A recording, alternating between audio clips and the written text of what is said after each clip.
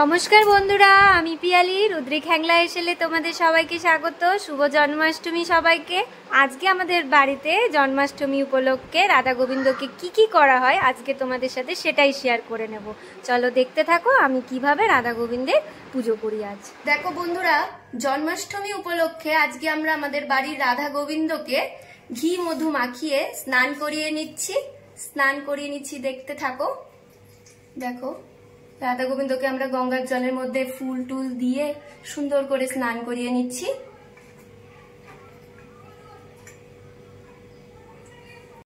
আমাদের ঠাকুরের নতুন পোশাক আনা হয়েছে। এটা হচ্ছে রাধার জামা আর এটা হচ্ছে কৃষ্ণের ধুতি। দেখো, এইগুলোকে আমরা এখন পরিয়ে নিচ্ছি। বন্ধুরা, আমার ঠাকুরকে পোশাক পরানো হয়ে গেছে। এবার ঠাকুরকে আমরা গয়না দিয়ে সাজাবো। দেখতে থাকো। দেখো বন্ধুরা, কত সুন্দর করে রাধা কৃষ্ণকে আমার গয়না পরিয়ে ফুলের মালা পরিয়ে সাজানো আমার হয়ে গেছে। এবার আমাদের রাধা কৃষ্ণকে আমরা সিংহাসনে বসিয়ে দেবো।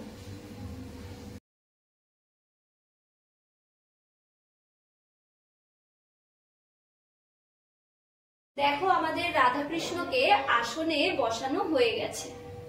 দেখো কত সুন্দর লাগছে আজকে রাধা কৃষ্ণকে দেখতে। দেখো আমাদের ঠাকুর ঘরটা তো একটু ছোট, তাই আমরা দেখো যতটা পেরেছি সাজানোর চেষ্টা করেছি।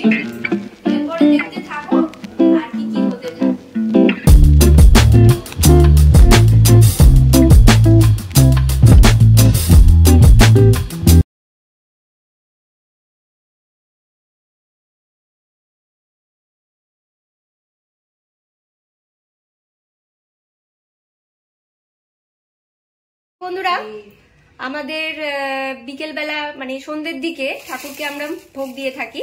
তো আজকে তার জন্য তাল দেখো চাচা হয়ে গেছে, তালের বড়া হবে।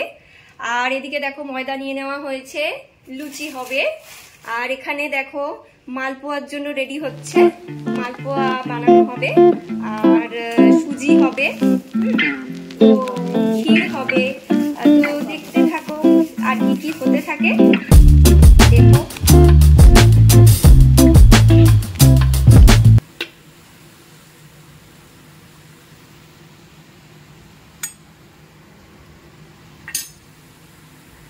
দেখো বন্ধুরা, তালের বড়া ভাজা হচ্ছে। দেখো কিছুটা ভাজা হয়েও গেছে, আর কিছুটা বাকি আছে।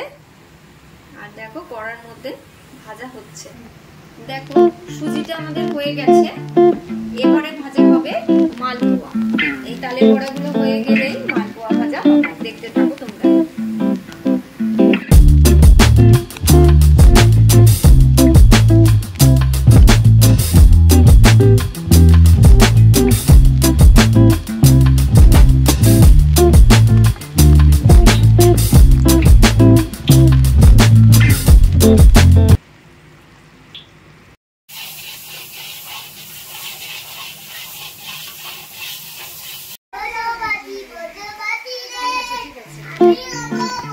চলো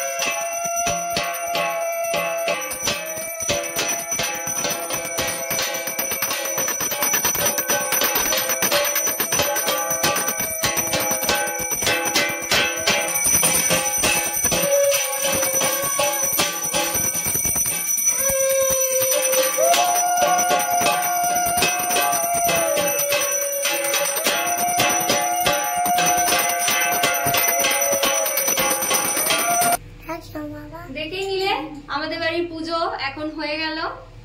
আমার শ্বশুর মশাই পুজোটা করে নিল। এবারে আমরা সবাই প্রদীপে একটু করে তাপ নিয়ে নিচ্ছি। আমাকে আমাকে